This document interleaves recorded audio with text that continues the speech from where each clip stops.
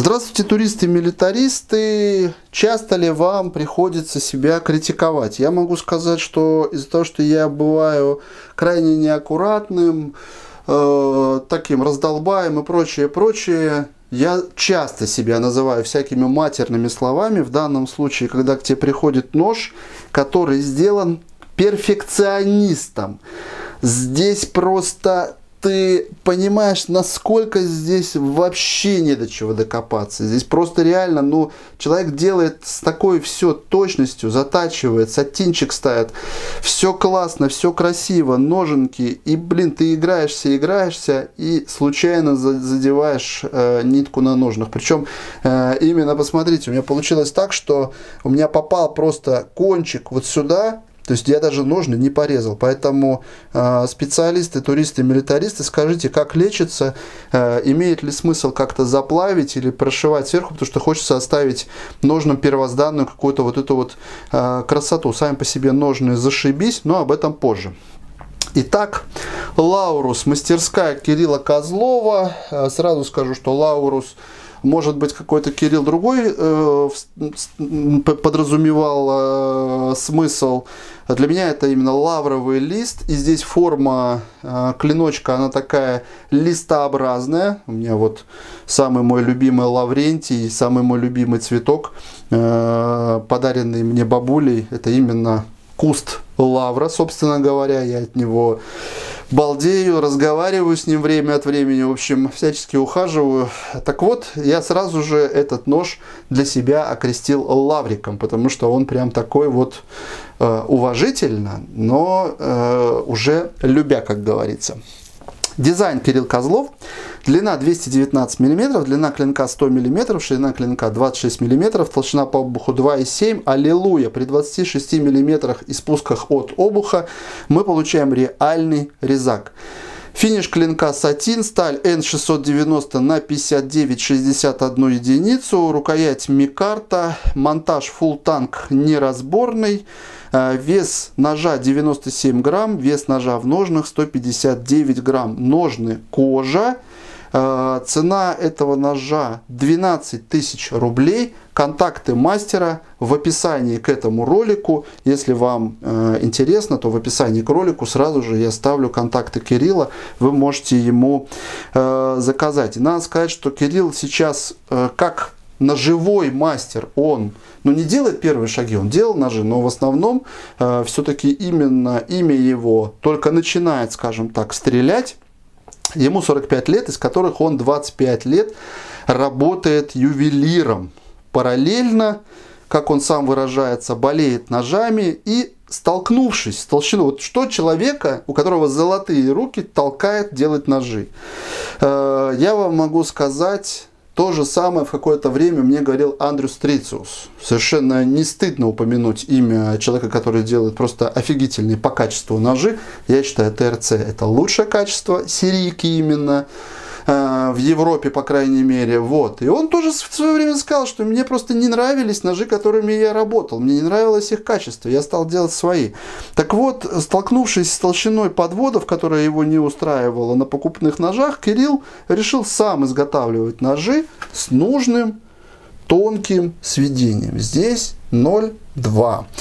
Э, участвовал в нескольких проектах с Алексеем Шакуровым и подход к изготовлению ножей у Кирилла явно именно ювелирный. Здесь все очень-очень сделано прям дотошно, по-другому не скажешь. Невероятно педантичное отношение к мелочам. А, Микарта заполирована с любовью, то есть именно переход – микарты в, вот на спинке, переход микарты э, в хвостовик ты чувствуешь только по температуре, по тактильным ощущениям. То есть здесь вообще как будто бы одно целое. Просто шикарнейшим образом все оформлено. Клинок э, такой прям действительно э, э, действительно реально такое копье. И ножны в ножны, ножны у нас симметричные под правую и под левую руку, можно переставлять. Здесь не хватает отверстия для того, чтобы клиночек дышал, как обычно делают, так, так называемое сливное отверстие. И у нас петля э, вертикального фиксированного подвеса, жесткая на достаточно широкий ремень.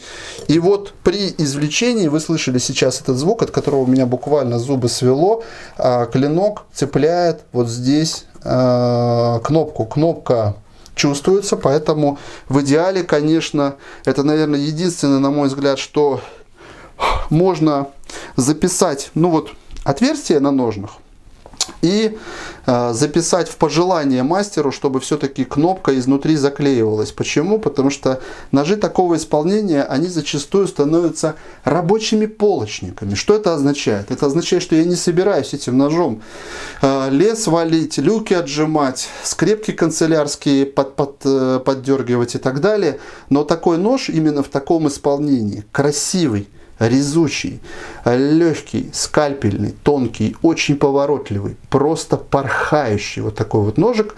Он зачастую у человека лежит где-то, например, э, в ящике дорогого из натурального дерева рабочего стола, пришли, пришли партнеры подписать контракт, соответственно, достал из ящика этот нож, понтанулся слегка, нарезал лимончик, э, там выпили коньячку, поставили подписи, аккуратно э, смыл лимончик с клиночка, высушил, поставил обратно в ножны и снова в стол. То есть как бы нож рабочий, он свою функцию выполнил, это была небольшое такое вот еще один маленький штрих вот в этом вот во всей вот в этой вот всей встрече, в подписании. А представьте, ладно, хрен с ним.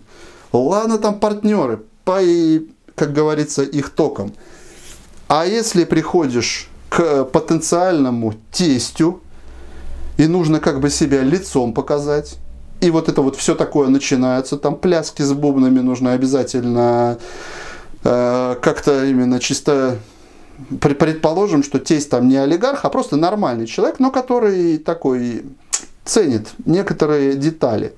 Нужно показать, что взять-то будущее он не лох, ладно, там подъехал на какой-нибудь не особо дорогой тачке, это уже как-то так, ну ладно, хорошо. Вот именно в этой машине Доня моя поедет в роддом, зашибись.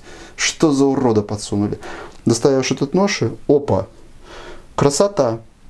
Правда, есть опасность. Э, тестем может не стать, а нож подарить придется. Ну да ладно, это я сейчас э, залез в лирику, то есть именно когда говорят полочник, э, я могу сказать, что есть полочники, которые достаются по особым случаям, для того, чтобы а. получить кайф от работы, Б. Произвести впечатление. Этот нож может делать и то, и другое. Поэтому э, с учетом того, что вот как раз возвращаюсь-то я к чему? Вокруг чего вся эта история с контрактом и с тестем была? Вокруг того, что было бы здорово на самом деле э, этим ножом, вернее, чтобы этот сатин красивый на клиночке, он остался на совсем и не царапался нож, не царапался бы клинок об кнопку. Что мы имеем э, по ножу сказать? Собственно, у нас условный молоточный хват. Почему условный? Потому что любой нож с тонкой талией э, начинает при строгании гулять. Но здесь я вижу будущее. Во-первых, она не совсем тонкая, такая, ну, ну все равно тонкая все же. Э, но вот как-то удается зажать именно пальцами. Здесь вытащит, конечно, клинок при строгании. Хотя, ну не надо, блин, мне, у меня сердце кровью заранее обливается, потому что настолько он весь такой изящный, интеллигентный, но построгаем, никуда не денемся. Так, э, дальше. Диагональный хват здесь безопасный, несмотря на отсутствие каких-либо там упоров, шмупоров и так далее, потому что рукоять очень грамотно, четко упирается у нас в ладонь. Трубку вы можете использовать как отверстие для темляка, хотя для, именно для отверстия, как вот Э, сама по себе трубка, она на месте. Как отверстие для темляка, слегка все-таки далековато э, к центру рукояти. Рукоять, как вы видите, у нас не симметричная. Идет выход такой именно спинки. И вот таким вот хватом все действительно получается очень красиво. Можно намутить очень грамотный и четко зафиксированный отверточный хват. Обратный, пожалуйста. Клинок, действительно, получается, что ты вот крутишь вот эту вот колбасинку, и за счет того, что э, тонкая талия, клинок действительно, нож действительно летает просто в руках, он очень-очень поворотливый. Ну и, конечно же, без каких-либо сомнений, этот нож просто будет охренительным в командировочной, в проставочной и в какой-либо аутдорной кухне.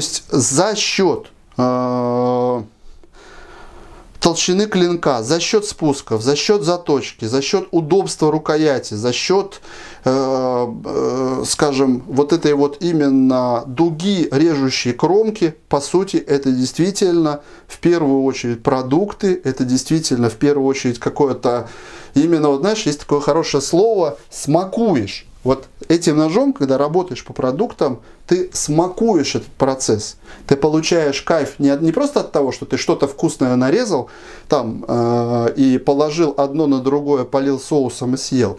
А здесь сам по себе вот этот вот, когда вот эта вся плоть, этот весь, вот вся, весь, все эти продукты, они рассекаются сами собой, как будто бы от воздуха на части, ты действительно от этого процесса кайфуешь. Я понимаю ваше негодование по поводу того, что я очень сегодня сладкоречив и прям вот такой вот и восхищаюсь, и э, долечку все заметили, да, и восхищаюсь, и действительно вот прям хвалю и хвалю, я реально это делаю, потому что здесь есть за что. Совершенно крутейший нож, авторский нож, 12 тысяч рублей – это именно, ну, я не буду говорить там, что дешево, нет, конечно, но он своих денег по-любому стоит, и это действительно прям вот, ну, просто шикарнейший формат. Спасибо за просмотр. Все время, все время хочу сказать спасибо за обзор. Себе, что ли? Все, ребят, увидимся. Э, Кирилл, нож просто супер топ.